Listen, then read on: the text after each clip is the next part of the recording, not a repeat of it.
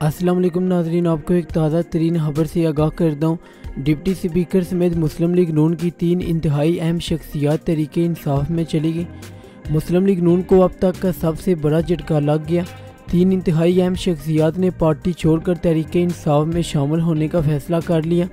तफसीत के मुताबिक पंजाब असम्बली के डिप्टी स्पीकर हसन अख्तर समेत तीन अरकानी असम्बली ने तहरीक इंसाफ में शमूलियत का फैसला कर लिया। शामिल होने वाले दीगर दो अरकान में जफ़र इकबाल नागरा और राव काशिफ रहीम भी शामिल हैं। जराए का दावा है कि तीनों मुस्लिम लीगी रहनमा chairman P T I Imran Khan से बनी गाला मुलाकात में पी टी आई में शमूलियत का ऐलान करेंगे। तमाम मामला पहले से तय पा चुके हैं।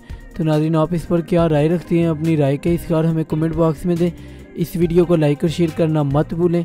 इस तरह की मज़ीद अपडेट्स के लिए हमारा चैनल सब्सक्राइब करें। Thanks for watching.